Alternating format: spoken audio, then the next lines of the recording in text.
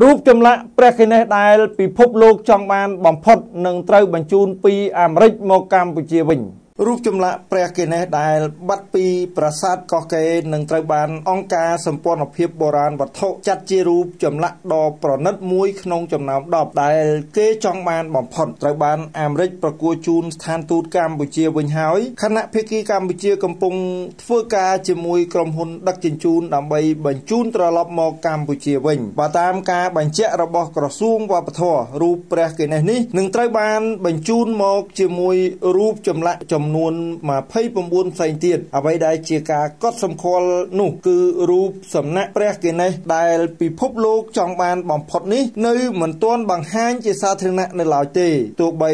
ជាក្នុងពិធីប្រគល់ដែលធ្វើឡើងដោយការិយាល័យមេធាវីអាមេរិកកាលពីម្សិលមិញក៏ដោយរដ្ឋមន្ត្រីក្រសួងវប្បធម៌លោកស្រីភឿងសក្ខណាបានថ្លែងថាកម្ពុជាពិតជាមានសេចក្តីរំភើបរីករាយដែលរតនសម្បត្តិដ៏ល្អឯកទាំងនេះត្រូវបាននាំត្រឡប់មកទឹកដីកំណើតវិញ លោកស្រីថាការបញ្ជូនមកវិញនេះគឺអាចសម្រេចបានដោយសារកិច្ចសហប្រតិបត្តិការនិងការខិត ខំប្រឹងប្រែងរួមគ្នារវាងរដ្ឋាភិបាលនៃប្រទេសទាំងពីរកម្ពុជានិងអាមេរិកនិងក៏ដោយសារប្រទេសកម្ពុជា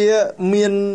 សុខសន្តិភាពពេញលេញតាមរយៈនយោបាយឈ្នះឈ្នះក្រោមការដឹកនាំដ៏ឈ្លាសវៃប្រកបដោយកតេបណ្ឌិតរបស់សម្ដេចតេជោហ៊ុនសែននាយករដ្ឋមន្ត្រីនៃប្រជាណាចក្រកម្ពុជា ដែលផ្ដល់ឱកាសក្នុងការនាំមកវិញនៅប្រលឹងបុព្វបុរសខ្មែរដែលបានរសាត់ចាកឆ្ងាយពីមាតុភូមិកំណើតអស់ជាច្រើនឆ្នាំនាសម័យសង្គ្រាមនិងអសន្តិសុខរូបចម្លាក់ព្រះគណេសដែលត្រូវបានអាមេរិកប្រគល់ជូនកម្ពុជាវិញនេះត្រូវបានអង្គការសម្ព័ន្ធវត្ថុបុរាណចាត់ទុក ជារូបចម្លាក់មួយដែលពិភពលោកចង់បានបំផុតក្នុងចំណោមវត្ថុទាំង10ដែលត្រូវបានគេលួចមុននឹងអាមេរិកសម្រេចបញ្ជូនវត្ថុបុរាណទាំងនេះត្រឡប់មកវិញនេះត្រូវការចំណាយពេលចរចាអស់ពេល2ឆ្នាំ ក្នុងសេចក្តីប្រកាសកាលពីថ្ងៃទី18ខែមករាឆ្នាំ